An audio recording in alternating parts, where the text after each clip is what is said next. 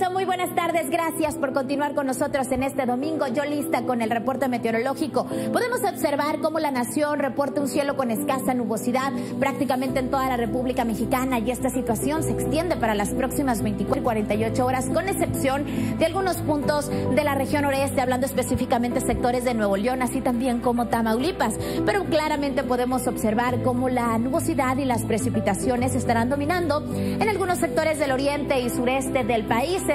Ligado tanto a las condiciones locales como al paso de un sistema frontal que sobre todo estará arribando durante esta noche hacia Coahuila, Nuevo León y Tamaulipas, provocando cambios en cuanto a descenso en la temperatura incremento en la nubosidad y activando algunos pronósticos de lluvia. El resto de la nación hasta el momento sin precipitaciones significativas.